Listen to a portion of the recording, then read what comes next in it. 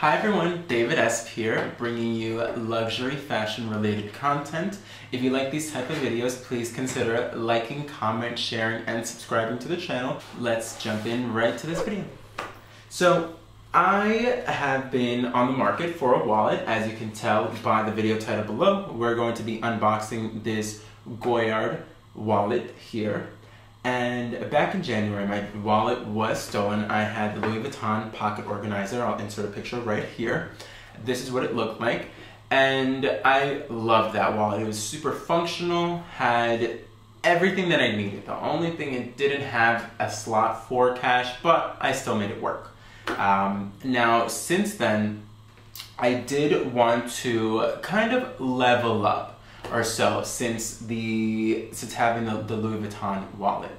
And I figured, let me look into Chanel. And I didn't want anything as far as uh, Gucci, Fendi, or anything of that such. So I figured I'd wanted to really level up. And what better to level up than Goyard? Now, Goyard isn't a brand that is able to be purchased online. They do ship to you if you call up the stores individually, see what inventory they have based on what you're looking for, and they can ship you an item. But as far as finding the item online available to purchase, it is not. I will link this item down below because you can see they have a catalog online as far as what they do and do not offer. It's some items only, not all, but I did find this wallet through that website. Now, with this wallet, I did have to go to the New York City Upper East Side 63rd Street store, I believe it's on. And they were doing no appointments. I just walked in and was able to purchase the wallet. So, uh, without further ado, I'm not gonna keep on rambling. Let's jump right into the unboxing.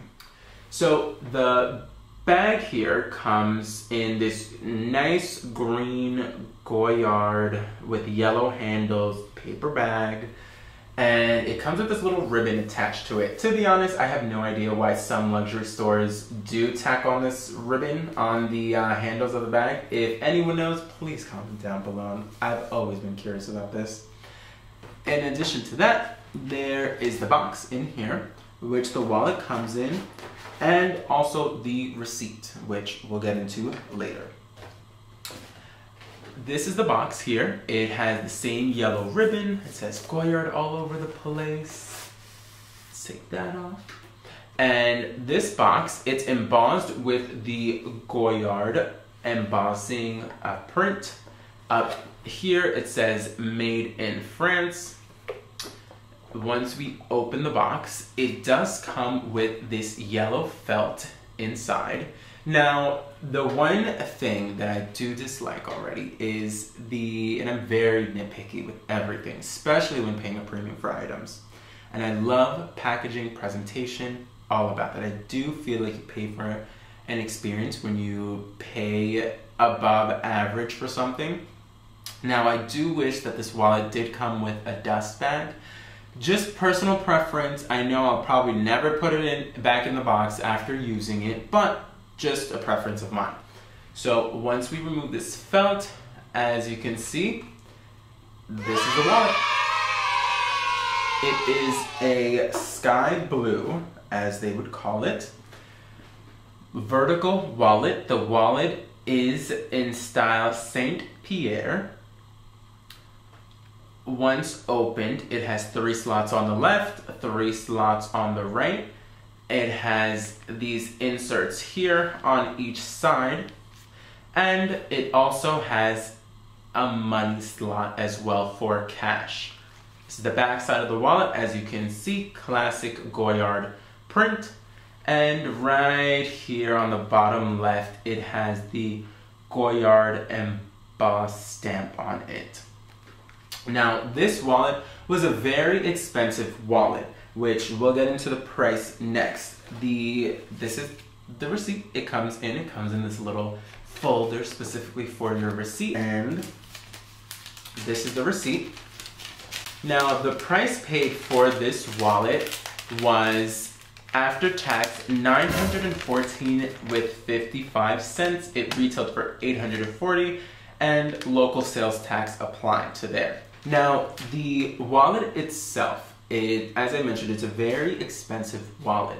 I wanted to level up from my Louis Vuitton one, but I still loved that wallet. I did want something similar to it, but not identical to it as well. So I figured this was my best bet. Goyard is known for their Saint Sulpice, I believe it's called, card holder, and other uh, wallets, the bifold one uh, as well. But I wanted a little bit something different. Now, as far as the color, I was torn between this color, blue, sky blue, and the green color as well. The green color I'm saving for another item, which will be coming soon, so subscribe to that uh, to this channel. And aside from that, I once I did decide I want the blue, I didn't want any black or any uh, brown. Goyard does charge different pricing depending on the color that you do get. I know special colors like this tend to be higher in price than their classic colors, which are brown and black, I believe, and they tend to be about 100 to $200 cheaper depending on the item. I would confirm with the store about that. Do not quote me on that. But I do know there is a price difference between special colors and classic colors. Um, they do depend on the item though. As far as this wallet, uh, once I decided I wanted the blue, rang it up, kept it moving. I was in the store for maybe about 45 minutes, absolute most. I already went in there knowing what I wanted.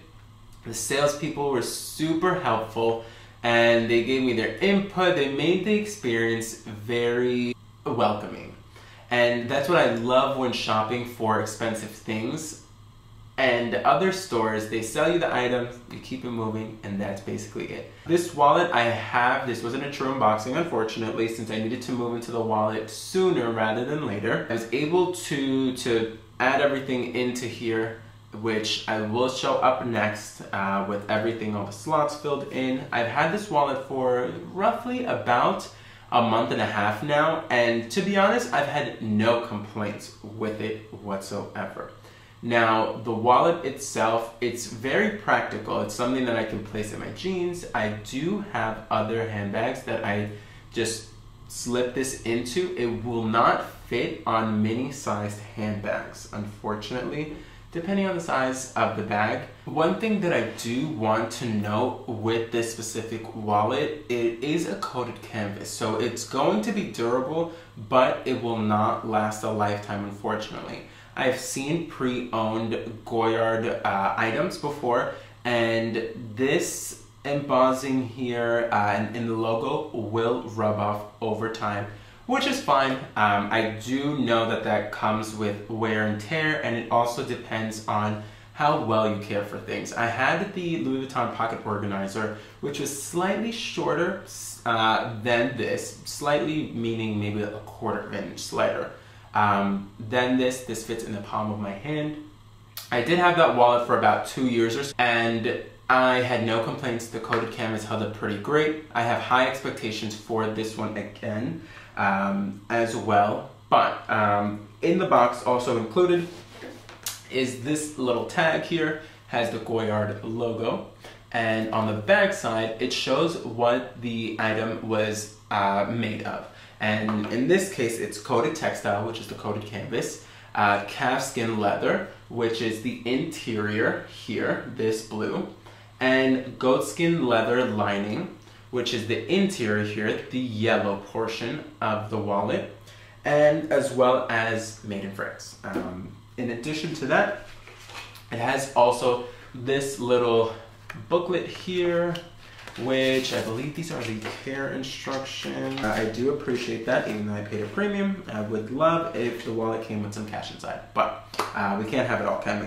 Uh, aside from that, I'm going to now cue over to inserting everything that I have into these slots so you guys can get more of a feel of what the wallet looks like with something inside. And as you can see, I filled up some uh, cards into the wallet. Excuse me if things look a little bit differently. My camera died.